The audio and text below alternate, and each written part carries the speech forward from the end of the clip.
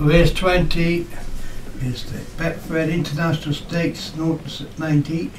Several Field and up. Electrified right back with Manstute, Martin Leadham back, but Goose Stu Gray, Danagay, Stu Gray, Daphne, Obi-Wan, Classical Phase, Alex Cherry, Ruby Tuesday, Purple Racing, Classical Car, Alex Cherry and Monroe completes the field of nine for Mark Cooper. And the riding in today. Understand's orders.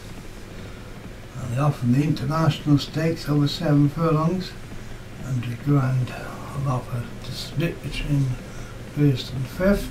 And Daphne takes it up early on for the Ruby one man's two in second. Randy says Ruby Tuesday and then comes down the with those who won on last time out and he's come back last season and Monroe back back goose electrified the classical phase and classical car giving each other company towards rear under the Alex Cherry pair. But out in front Daphne has about two to three lengths lead at half past half mile and Ruby Tuesday in second.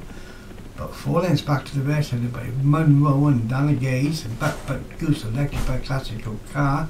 Classical phases towards rear. Moon's two drop right away at the moment.